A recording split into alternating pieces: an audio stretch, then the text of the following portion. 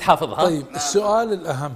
سم. آه، الشباب في المجال الإعلامي بماذا يفيد التعليق الصوتي في غير التعليق؟ مثلا كثير. في الإنشاد في الخطابة في التمثيل. شجرة العهد يفيد إيه. كثير في ناحية أنا ودي لو تركزون معي اللي هي انتقال النبرات الصوتية.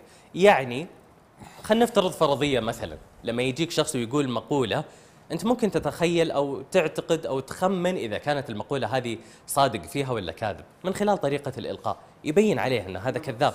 يا سلام عليك. من نبرة الصوت اللي جالس يتحاكى فيها يبين إذا كان كذاب أو كان صادق.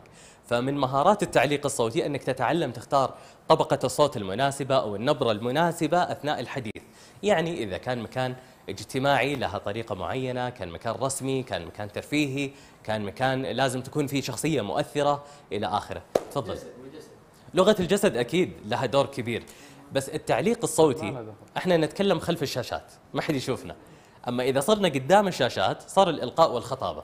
وفي الإلقاء والخطابة يمكن 45% يعتمد على لغة الجسد. إذا ما وزعت النظرات على جميع ال- المستمعين إذا ما صرت تتفاعل معهم غلط. أنت كذا خسرت ال- الإلقاء.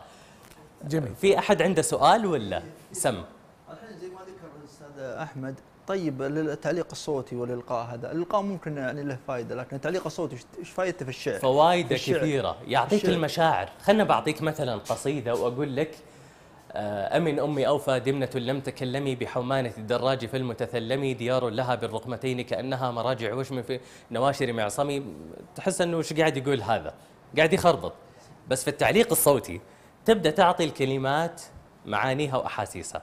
تقول مثلا أمن أمي أوفى دمنة لم تكلمي بحومانة الدراج فالمتثلم إلى آخره.